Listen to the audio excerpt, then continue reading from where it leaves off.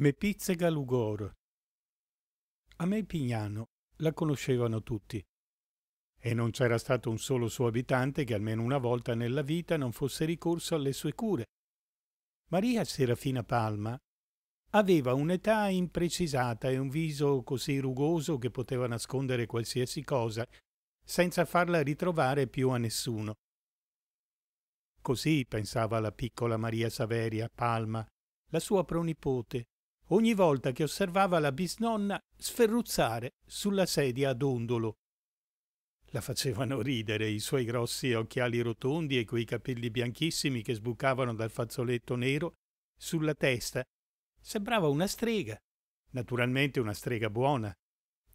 Corrado sgridava sempre la figlia ogni volta che la sentiva criticare la vecchia nonna, forse proprio perché sapeva che la bambina in fondo si sbagliava di poco Infatti Maria Serafina, la Sette Cori, così soprannominata per la grande bontà, aveva dedicato la sua vita all'aiuto al prossimo.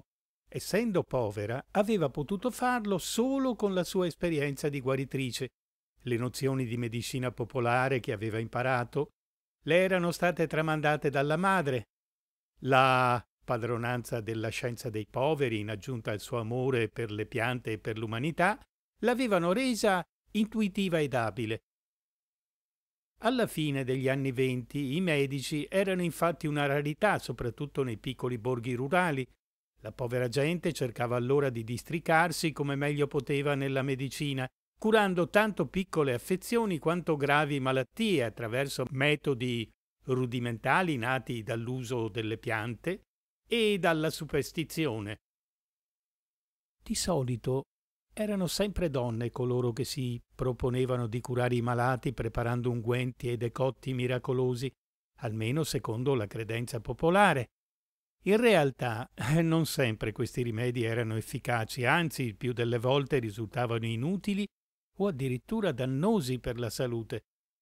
Piuttosto che restare con le mani in mano a veder soffrire e morire i melpignanesi, però Maria Serafina si era adoperata, fin da ragazza, a mettere in pratica il frutto della saggezza contadina, sfidando diffidenza e pregiudizi.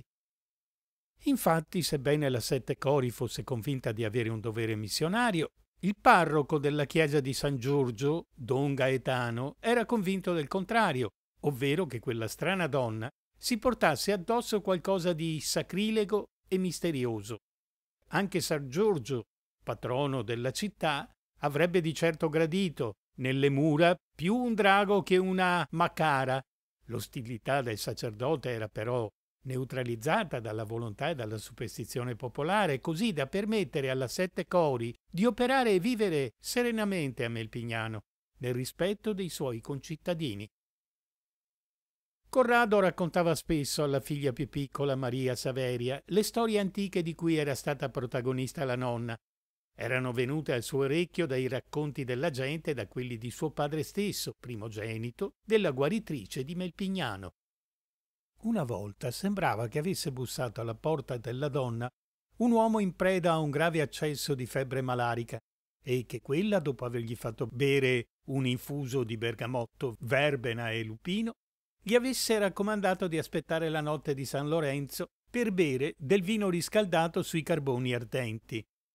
Del poveretto non si erano più avute notizie, anche perché viveva nelle campagne attorno al paese. A distanza di tempo qualcuno aveva raccontato che fosse guarito il giorno dopo la visita della maga, altri che fosse morto dopo pochi mesi.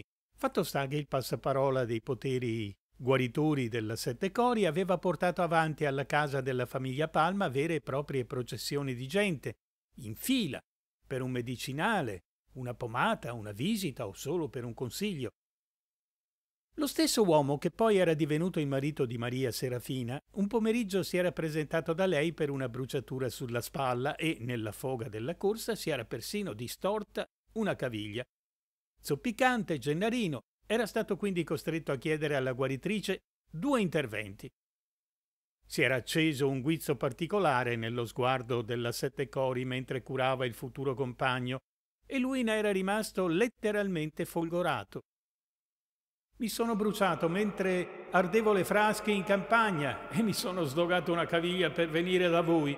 Si era giustificato Gennarino al colmo dell'imbarazzo. Sorridente e gentile Maria Serafina aveva adagiato sulla bruciatura una fettina di patata e polvere di calce bruciata, mentre sulla caviglia aveva spalmato del bianco d'uovo sbattuto, applicandovi poi una pezzuola di canapa.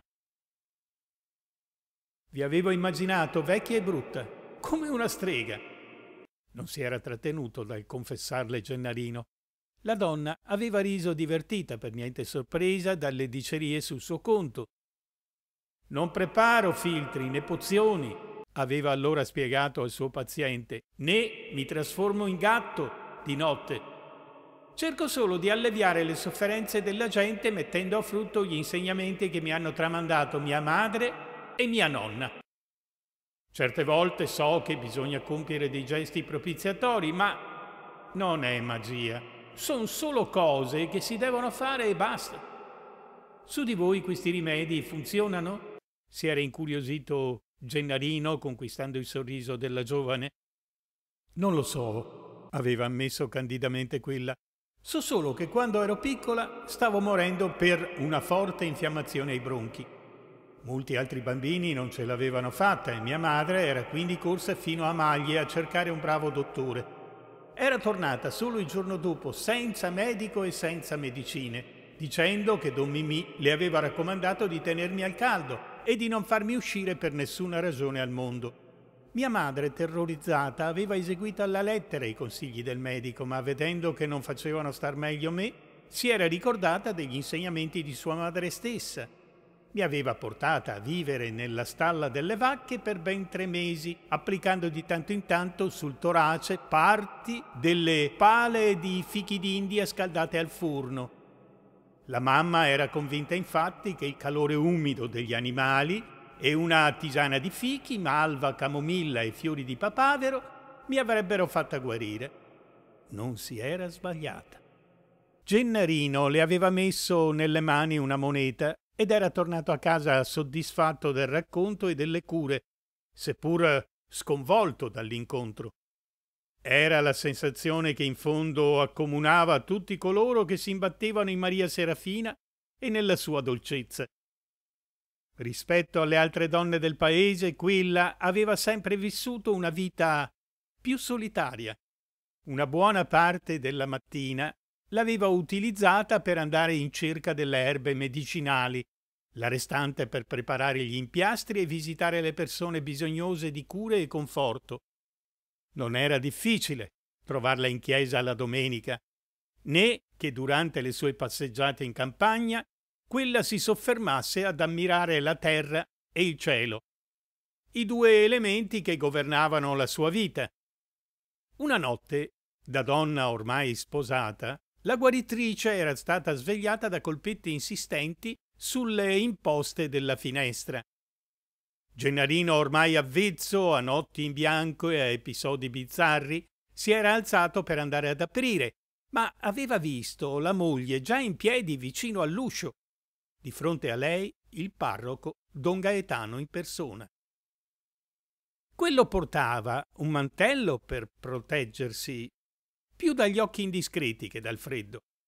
Con aria imbarazzata era rimasto in silenzio e al buio per qualche minuto, fino a che l'invito della Sette Cori ad accomodarsi non lo aveva fatto rilassare.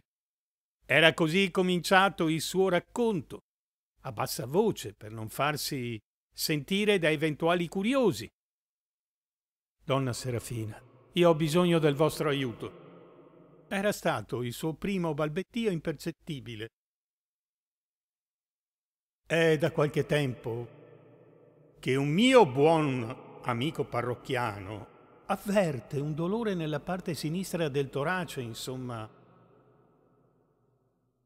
Ci pizzica lucor.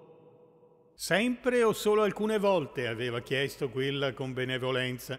Beh, quando rimane da solo la sera e quando vede la comare nunziatina che balla la pizzica. Gennarino di là, nella stanza da letto, aveva dovuto soffocare un accesso di riso sia per non farsi sentire sia per poter tornare subito all'ascolto dietro la porta socchiusa. Incoraggiato dal rispettoso silenzio della guaritrice, don Gaetano aveva continuato. Mi hanno detto che avete guarito certe tarantate invocando la misericordia di San Paolo e chissà se pure con l'annunziatine non possa funzionare. Eppure, se mi permettete un punto di vista, Annunziatina balla solo per scatenare l'inferno in chi la guarda. Gira su se stessa, sventola il fazzoletto, si lascia inseguire da Gumpacosimo agitando il tamburello e la gonna tanto da turbare il mio povero parrocchiano. E io, umile sacerdote, senza conoscenza delle medicine, se non quella per l'anima, sono venuto fino a voi per responsabilità di padre. Maria Serafina aveva sorriso amabilmente. E dovrei visitare il vostro parrocchiano Don Gaetano per essere sicura di quale disfunzione soffra se lui ripete in continuazione me pizzica lucor, qualcosa significherà. Il prete aveva cercato ingenuamente di non far divagare la donna. E poi quello... Eh, si vergogna di venire da voi. Ecco perché sono venuto io al posto suo. Ah, se le cose stanno così. Il rimedio non può che essere masticare un paio di bulbi freschi di aglio, almeno per due settimane e soprattutto cercare di non assistere a balli in cui ci possa essere l'annunziatina. Deluso per non aver ottenuto un filtro magico, Don Gaetano era tornato in paese a testa bassa, già in ansia per il cattivo odore di aglio che la cura gli avrebbe imposto durante le celebrazioni eucaristiche e le confessioni. Corrado e la piccola Maria Saveria avevano riso di gusto dietro alle leggende di nonna Fina ora lì davanti a guardarli incuriosita di tanta ilarità. Ma se la donna avesse potuto ribattere, forse avrebbe confessato che un tempo la gente aveva bisogno di non sentirsi sola e abbandonata, e che lei e tanti altri avevano solo cercato di allontanare questa paura, rimanendo in bilico tra conoscenza e soprannaturale, tra bene e male. E i cristiani cridiano e muriano, e i cristiani criticano e muoiono, ripeteva spesso la Sette Cori, ormai persa dietro mondi passati e rimorsi presenti. Lei non poteva sapere che, tra l'importanza del credere in qualcosa e il non credere a niente, risiedeva la sacra differenza tra la vita e la morte.